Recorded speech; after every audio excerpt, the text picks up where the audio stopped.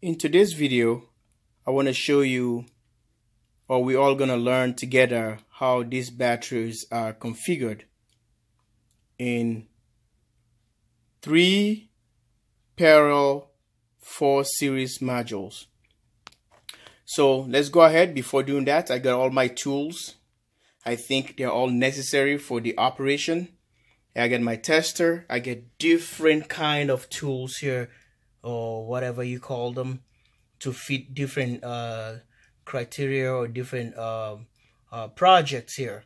So we're just getting ready. Then here I have my little guy here which has all kind of different kind of styles out there in the market. The, the latest um, uh, security locks, you know, anything you can think of they're in here. Zoom it close. You see? So guys this is what I have for you guys today.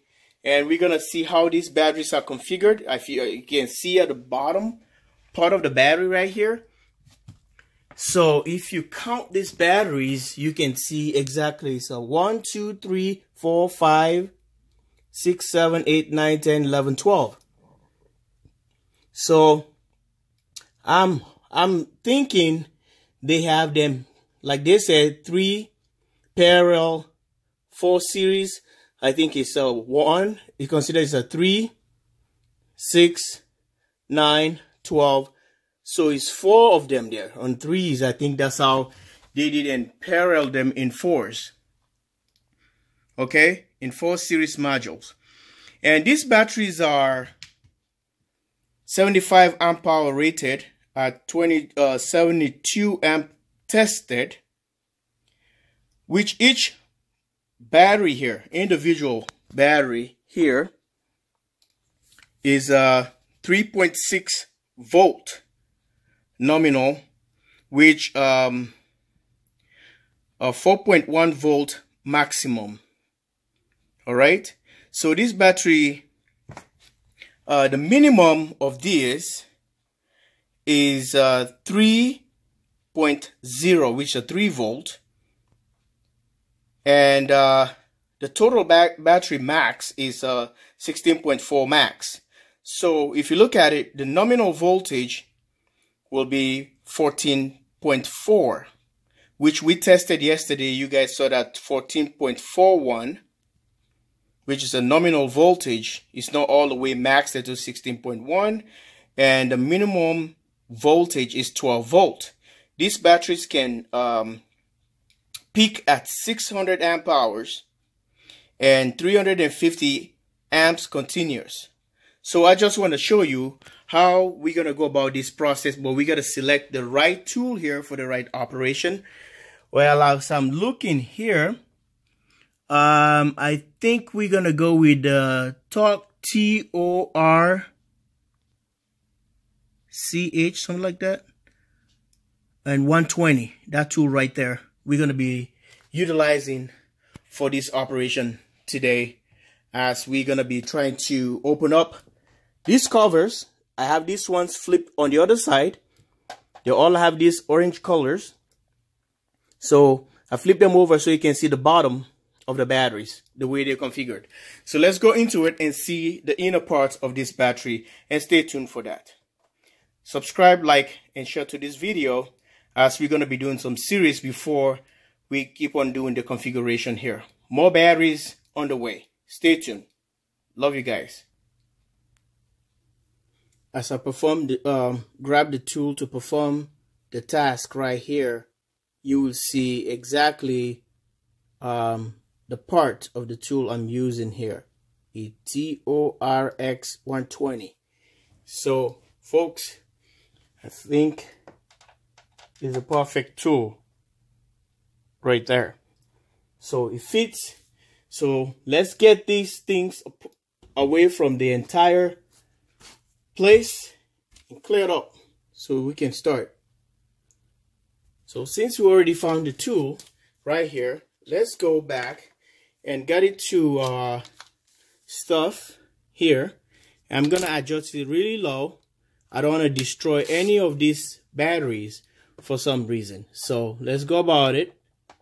and get these you see that we just took one of the boys out so and we're gonna do the same thing to the other one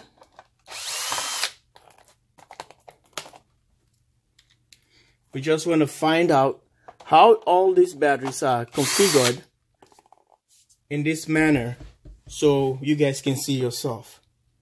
Stay tuned. As I'm about to pop this cover and I'll show you guys. There we go. Look at this. So I'll bring it close so you can see how everything is configured and you guys, the tech guru out there, will see exactly instead of me explaining and you can able to uh, reconsider if you want to go with these batteries and what are the uh, the gain what are the losses or whatever you need for you to configure a battery like this. So here it seems to be um, the BMS uh, plugin right here the battery management system. That's uh, just a short form of that. And you can see the terminals tied into um, the bottom cell right here. And you can see from the top right here and the yellow another one here and right there. So i think these are the four point that um the batteries are um in three in series and four in parallel. So i think these are these are one string one string one one string here is another one here so folks this is what um we dealing with here right now, here right at a JW Solar USA. Um, I hope this video can make sense for a lot of you guys. Here you can see the positive terminal right here. And uh, let me pop this and see. Yep, the positive wire is right here. So don't make a mistake by flipping the cover to the other side. I don't think it's going to work anyway because you see all the holes are perpendicular to the way the cover is designed so you can be able to miss a positive and a negative. So guys, um, this is the looks and if you're curious how these batteries are formed, how these batteries are set up and this is how they set up and you guys tell me what you think. From here, we're going to be doing some other tests or a demonstration how these batteries are all going to be wired into um, a series series for for 48 volt or a 24 volt application. So if you are not sure how these batteries work, I'll encourage you to uh, stay tuned to um, all the series videos I'm going to be making here. I'm doing all these uh, series videos in the sense so that nobody will be left out and we don't want nobody left out. On JW Solar USA, nobody's gonna be left out. So we want to make sure that everybody trying to understand this and everybody gonna see the application, how everything works from start to finish. Just like the Nissan Leaf. Okay?